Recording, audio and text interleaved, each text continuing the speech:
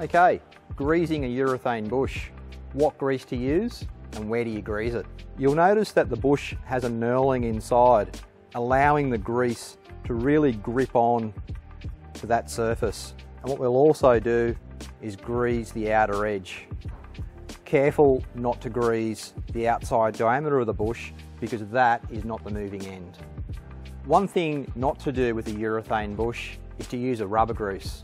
And in fact, what we're looking for is a lithium-based grease like this one. What you will experience by not using the correct grease is the bush degrading much faster than it's designed and also squeaks.